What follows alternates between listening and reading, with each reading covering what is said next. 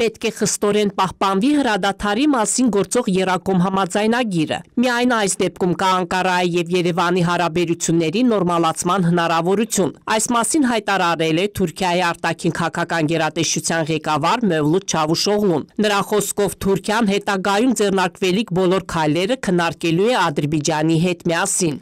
Մենք գտնվում ենք Լեռնային Ղարաբաղում հրադադարի ռեժիմը վերահսկող ռուս-թուրքական համատեղ կենտրոն ստեղծելու գործընթացի մեջ, Ադրբեջանի կողմից որոշված տարածքում եւ մեզ նշված կետերում։ Այս կենտրոնի հիմնական նպատակը կլինի հրադադարի ռեժիմի դիտարկումը, իսկ այն խախտելու դեպքում համապատասխան կանխարգելիչ միջոցառումներ կձեռնարկվեն։ Միջազգային հակամարտությունների հարցերով ռուս փորձագետ Եվգենի Միխայլովը համարում է, որ Ռուսաստանը եւ Թուրքիան համատեղ դիտորդական կենտրոնի միջոցով իրենց ներդրումը կունենան տարածաշրջանի անվտանգության երաշխավորի տեսանկյունից, կարգավորելով Բաքվի եւ Երևանի միջև փոխհարաբերությունները։ Վերլուծաբանի խոսքով այս կենտրոնը կշարունակի իր աշխատանքը այնքան ժամանակ, քանի դեռ Հայաստանը չի գիտակցել, որ անհրաժեշտ է խաղաղ ապրել իր հարևանների հետ։ В самой Армении пока нет Հայաստանում դեռ չկա հասկացողություն, թե ինչպես վարվել եւ ուր գնալ։ Գերակշռում են ռևանշիստական տրամադրությունները, բայց իմ կարծիքով մոնիտորինգի ռուսական կենտրոնը ուղղված է նրան,